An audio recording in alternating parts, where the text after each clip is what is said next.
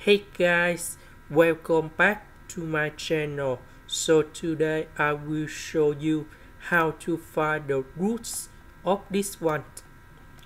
We need to know that this is about real number. That means we cannot accept we cannot accept about complex number in here. So in this situation, I will put this one equals to number 0.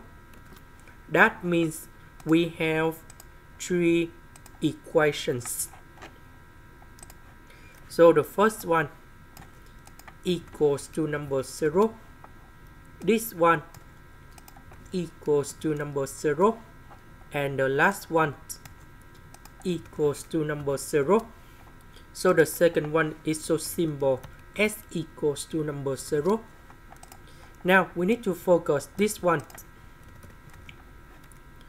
So I will put about 1 over b go in here.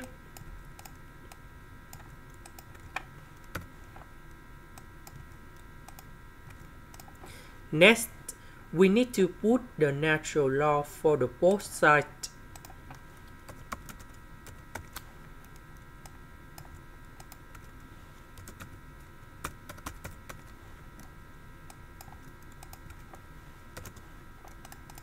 Next, we have the formula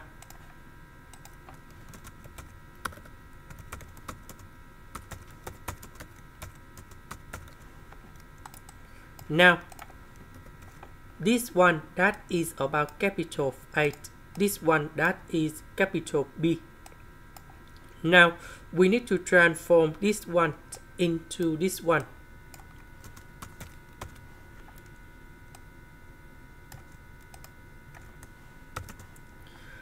For this one, that is about b to the power of negative number 1.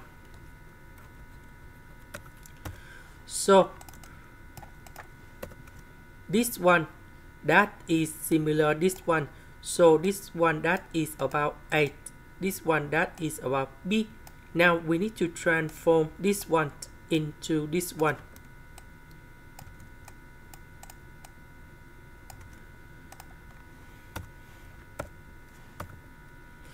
So we need to divide both sides by f and b and you got s equals to negative number 1. Now let's go to the last one. So I will put this one go to the right.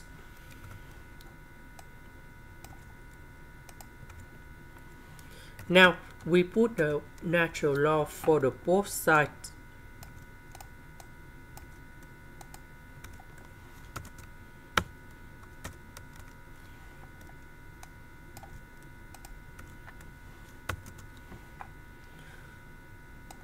so we apply the same technique. So this one you got about negative number 2 f and b.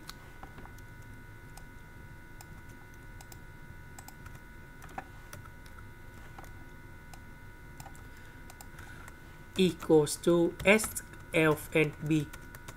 And we got s equals to negative number 2 and that is the answer for the question. This is the end. Thank you for watching.